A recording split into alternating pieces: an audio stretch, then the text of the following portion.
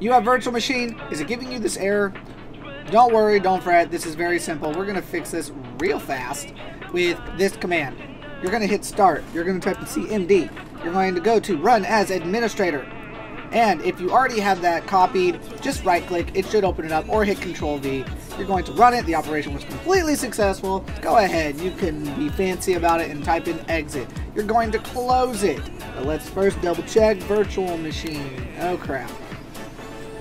Alright, so we will be right back in just a moment.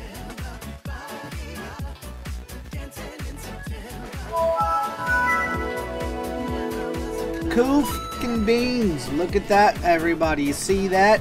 And we're done in less than three fucking minutes.